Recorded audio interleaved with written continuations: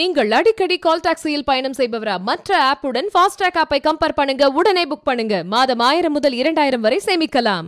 தென்னிந்தியாவின் மான்செஸ்டர் என்று அழைக்கப்படும் கோயம்புத்தூர் மாநகரம் இந்தியாவிலேயே வேகமாக வளர்ந்தும் இரண்டாம் நிலை நகரங்களில் முதன்மையானது. ஜவுளி தொழில் வர்த்தகம் தொழில்நுட்பம் மருத்துவ வசதிகள் உற்பத்தி துறை என பல தொழில்களின் இருப்பிடமாகவும் தொழில் முனைவுக்கு எடுத்துக்காட்டாகவும் திகழும் கோயம்புத்தூரின் எதிர்கால வளர்ச்சியை கருத்தில் கொண்டு இந்நகரில் மெட்ரோ ரயில் திட்டத்தை செயல்படுத்த அரசு முடிவு செய்துள்ளது. இத்திட்டம் அவினாசி சாலை சத்தியமங்கலம் சாலைகளை உள்ளடக்கி ஒன்பதாயிரம் கோடி ரூபாய் மதிப்பீட்டில் செயல்படுத்தப்படும். பூங்கா நகரமான மதுரை மாநகரம் தென்னகத்தின் வளர்ச்சிக்கு மையமாக விளங்கும் வகையில் மெட்ரோ ரயில் திட்டம் எட்டாயிரத்தி ஐநூறு கோடி ரூபாய் மதிப்பீட்டில் செயல்படுத்தப்படும்.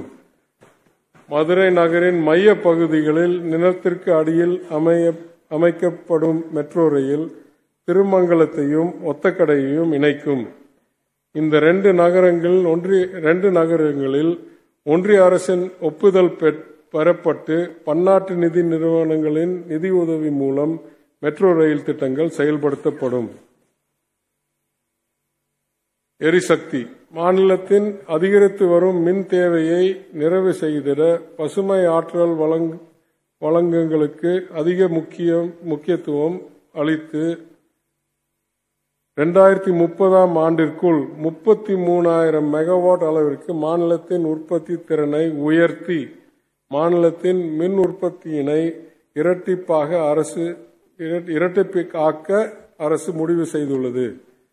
மாநில மின் உற்பத்தி தற்போது இருபது புள்ளி எட்டு எட்டு சதவீதமாக பசுமை ஆற்றலின் பங்களிப்பை இரண்டாயிரத்தி முப்பதாம் ஆண்டிற்குள் ஐம்பது சதவீதமாக அதிகரிக்க உத்தேசிக்கப்பட்டுள்ளது.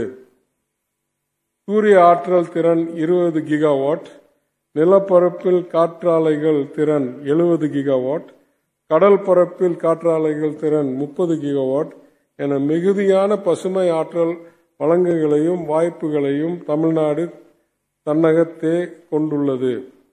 இரண்டாயிரத்தி முப்பதாம் ஆண்டுக்குள் மொத்த மின் உற்பத்தியில் ஐம்பது சதவீதத்துக்கும் மேல் புதுப்பிக்கத்தக்க ஆற்றலின் பங்களிப்பு இருக்கும் வகையில் பசுமை மாநிலமாக தமிழ்நாட்டை மாற்றுவதற்கு சிறப்பு நிறுவனம் ஒன்றை அரசு உருவாக்கும். மேலும் மாநிலத்தின் நிறுவப்பட்டுள்ள காற்றாலைகளின் செயல்திறனை மறுசீரமைக்க புதிய கொள்கை ஒன்றை வகுக்கப்படும் ஒன்றும் வகுக்கப்படும்.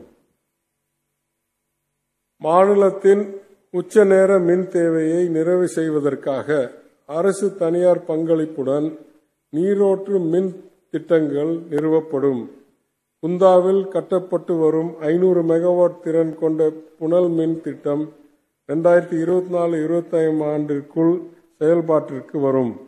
மேலும் இரண்டாயிரத்தி முப்பதாம் ஆண்டுக்குள் எழுபத்தி ஏழாயிரம் கோடி ரூபாய் செலவில் பதினாறாய் பதினாலாயிரத்தி ஐநூறு மெகாவாட் திறன் கொண்ட பதினைந்து புதிய நீரேற்று மின் திட்டங்கள் அரசு தனியார் பங்களிப்புடன் செயல்படுத்தப்படும்.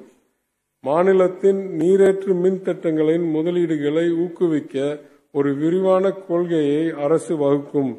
மேலும் தற்போது நடைபெற்று வரும் நாலாயிரத்தி நூறு மெகாவாட் அனல் மின் திட்டப் பணிகள் விரைந்து முடிக்கப்படும். மின் பயன்பாட்டு தரவுகளை தானியங்கி முறையில் பெறுவதற்கு முழு சீரமைக்கப்பட்ட மின் பகிர்மான திட்ட திட்டத்தின் கீழ் கட்டணம் செலுத்தும் அனைத்து நுகர்வோர் இணைப்பு இணைப்புகளுக்கும் முன்கூட்டியே கட்டணம் செலுத்தும் வசதியுடன் திறன்மிகு மின் அளவிகள் ஸ்மார்ட் மீட்டர்ஸ் நிறுவப்படும். அரசால் மேற்கொள்ளப்பட்ட அடிப்படை சீர்திருத்தங்களின் விளைவாக தமிழ்நாடு மின் உற்பத்தி மற்றும் பகிர்மான கழகத்தின் நிதிநிலை சற்று மேம்பட்டுள்ளது. இதனால் இக்கழகத்தின் இழப்பு ரெண்டாயிரத்தி இருபத்தொன்னு இருபத்தி ரெண்டாம் ஆண்டில் பதினோராயிரத்தி தொள்ளாயிரத்தி ஐம்பத்தோடு ஐம்பத்தைந்து கோடி ரூபாயிலிருந்து நடப்பாண்டில் ஏழாயிரத்தி எண்ணூத்தி இருபத்தி ரெண்டு கோடி ரூபாயாக குறைய வாய்ப்புள்ளது. இந்த வரவு செலவு திட்டத்தில் தமிழ்நாடு மின் உற்பத்தி மற்றும் பகிர்மான கழகங்களுக்கு அரசால் வழங்கப்படும் மானியங்களுக்காக பதினாலாயிரத்தி அறுபத்தி மூணு கோடி ரூபாய் ஒதுக்கப்பட்டுள்ளது. கைத்தறி துணிநூல். கைத்தறி மற்றும் விசைத்தறி நெசவாளர்களின் நலனில் இந்த அரசு தனி கவனம் செலுத்தி வருகின்றது. எழுபத்தி ஆறாயிரத்தி முன்னூத்தி ஐம்பத்தி ஆறு கைத்தறி நெசவாளர்கள் பயன்பெறும் வகையில் அவர்களுக்கு வழங்கப்பட்டு வந்த இலவச மின்சார அலகுகள் இருநூறிலிருந்து முன்னூறாக உயர்த்தப்பட்டுள்ளது. அதேபோல் ஒன்று புள்ளி ஆறு லட்சம் விசைத்திரி நெசவாளர்களுக்கு வழங்கப்பட்டு வந்த இலவச மின்சார அலகுகள் எழுநூத்தி ஐம்பதிலிருந்து ஆயிரமாக உயர்த்தப்பட்டுள்ளது. அண்மையில் மாண்பு முதலமைச்சர் அவர்கள் மேற்கு மண்டலத்தில் புதிய ஜவுளி பூங்கா ஒன்று அமைக்கப்படும் என அறிவித்திருக்கிறார்கள். அதன் அடிப்படையில் சேலத்தில் சுமார் எண்ணூத்தி எண்பது கோடி ரூபாய் செலவில் நூத்தி பத்தொன்பது ஏக்கர் நிலப்பரப்பில் ஒன்றிய மாநில அரசுகளின் நிதி உதவியுடன் தனியார் தொழில் முனைவோர்களின் பங்களிப்புடன் இந்த பூங்கா அமைக்கப்பட உள்ளது. தமிழ்நாடு தொழில் முன்னேற்ற நிறுவனத்தின் மூலம் விருதுநகர் மாவட்டத்தில் ஏறத்தாழ ஆயிரத்தி எண்ணூறு கோடி ரூபாய் செலவில் கட்டமைப்பு வசதிகளுடன் ஜவுளி பூங்கா அமைத்திட ஆயிரத்தி நூத்தி ஐம்பது ஏக்கர் நல- நிலம் கையகப்படுத்தப்படும் பணிகள் முடிவடைந்து ஒன்றிய அரசின் பங்களிப்புடன் இந்த பூங்காவின் பணிகள் விரைவில் தொடங்கப்பட உள்ளது. இந்த ஜவுளி பூங்கா நல்குகிறது. நடப்பாண்டில் உள்நாட்டு சுற்றுலா பயணிகளின் எண்ணிக்கையின் அடிப்படையில் நாட்டிலேயே முதலிடத்தை தமிழ்நாடு வகிக்கிறது. சுற்றுலா தல மேம்பாட்டு திட்டத்தின் கீழ் பல்வேறு சுற்றுலா தலங்களின் கட்டமைப்பை மேம்படுத்துவதற்காக நடப்பாண்டில் 75 கோடி ரூபாய் மதிப்பில் உள்ள திட்டங்களுக்கு ஒப்புதல் அளிக்கப்பட்டுள்ளது.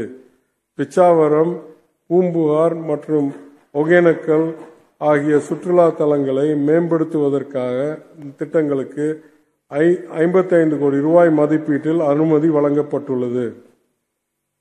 சுற்றுலாத்துறைக்கு ஊக்கமளிக்கும் வகையில் அனைத்து துறையினருடன் கலந்தாலோசித்து சுற்றுலா கொள்கை ஒன்று வகுப்பு- வகுக்கப்பட்டுள்ள- பட உள்ளது வகுக்கப்பட்டுள்ளது. இது விரைவில் வெளியிடப்படும். சிறுபான்மையினர் நலன். பள்ளிவாசல்களையும் தர்காக்களையும் பழுது பார்- பார்ப்பதற்கும் சீரமைப்பதற்கும் வழங்கப்படும் ஆண்டு மானியம் நடப்பாண்டில் ஆறு கோடி ரூபாயிலிருந்து பத்து கோடி ரூபாயாக உயர்த்தப்பட்டுள்ளது.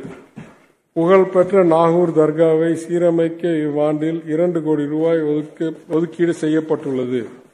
இதே போன்று தேவாலயங்களை பழுது பார்ப்பதற்கும் புதுப்பிப்பதற்கும் வழங்கப்படும் மானியமும் ஆறு கோடி ரூபாயிலிருந்து பத்து கோடி ரூபாயாக உயர்த்தப்படும்.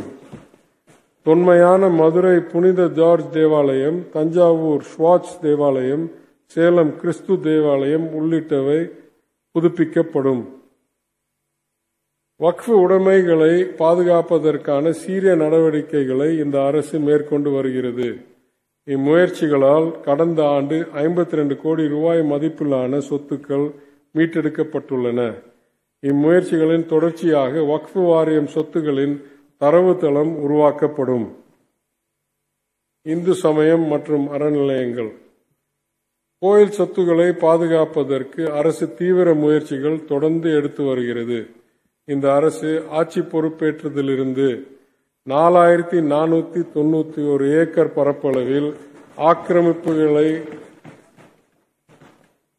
ஆக்கிரமிப்பு செய்யப்பட்ட நாலாயிரத்தி இருநூத்தி முப்பத்தி ஆறு கோடி ரூபாய் மதிப்புள்ள கோயில் சொத்துக்களை மீட்டெடுக்கப்பட்டுள்ளன. கோயில் நிலங்களில் புவிசார் ஒருங்கிணைப்புகளை பதிவு செய்யவும் நில வளங்கள் பற்றிய தரவு தரத்தை தயாரிப்பதற்காகவும் திட்டம் ஒன்று செயல்படுத்தப்பட்டு வருகிறது. இதுவரை ஒரு லட்சத்தி எட்டாயிரத்தி ஏக்கர் இப்- ஏக்கர்களில் இப்பணி நிறைவடைந்து உள்ளன. நடப்பாண்டில் ஐயாயிரத்தி எழுநூத்தி நாலு கோயில் சாரி ஐநூத்தி எழுபத்தி நாலு கோயில்களில் திருப்பணி முடிக்கப்பட்டு குடமுழுக்குகள் நடத்தப்பட்டன. திருச்செந்தூர் கோயிலில் முன்னூத்தி ஐந்து கோடி ரூபாயிலும் பெரியபாளையம் பவானி அம்மன் கோயிலில் நூத்தி அறுபத்தி ஆறு கோடி ரூபாயிலும் ராமேஸ்வரம் ராமநாத சுவாமி கோயிலில் நூத்தி நாற்பத்தி ஆறு கோடி ரூபாயிலும் பெருந்திட்ட பணிகள் மேற்கொள்ளப்பட்டு வருகின்றன. வரும் நிதியாண்டில் நானூறு கோயில்களுக்கு திருப்பணி முடிக்கப்பட்டு குடமுழுக்கு நடத்தப்படும். வரும் ஆண்டில் பழனி திருத்தணி சமயபுரம் ஆகிய கோயில்களில் பெருந்திட்ட பணிகள் நானூத்தி எண்பத்தி ஐந்து கோடி ரூபாய் செலவில் மேற்கொள்ளப்படும். மக்கள் குறை தீர்ப்பு. பொதுமக்களின் குறைகளை விரைவாகவும் நிறைவாகவும் தீர்ப்பதற்கு இந்த அரசு அதிக முன்னுரிமை அளித்து வருகிறது. இந்த ஆண்டு முதல்வரின் முகவரி திட்டத்தில் பெறப்பட்ட பதினேழு புள்ளி ஏழு லட்சம் மனுக்களில் பதினேழு புள்ளி மூணு லட்சம் மனுக்களுக்கு தீர்வு காணப்பட்டுள்ளன.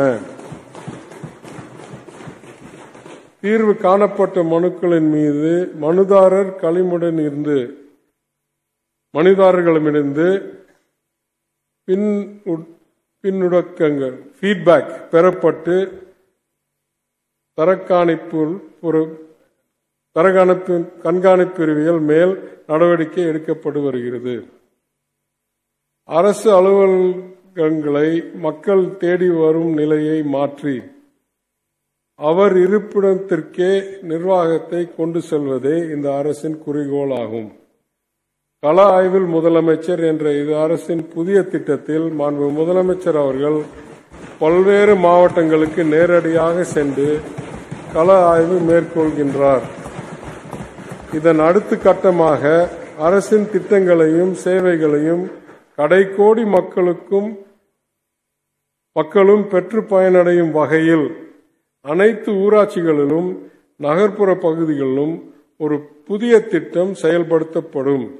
இத்திட்டத்தில் அனைத்து அரசு துறைகளும் ஒருங்கிணைத்து அரசு சேவை முகாங்கள் நடத்த நடக்க நடத்தப்படும்.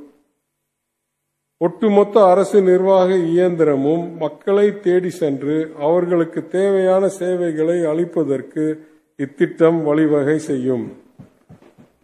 நீங்கள் அடிக்கடி கால் டாக்ஸியில் பயணம் செய்பவரா? மற்ற ஆப்புடன் ஃபாஸ்டாக் ஆப்பை கம்பேர் பண்ணுங்க. உடனே புக் பண்ணுங்க. மாதம் ஆயிரம் முதல் இரண்டாயிரம் வரை சேமிக்கலாம்.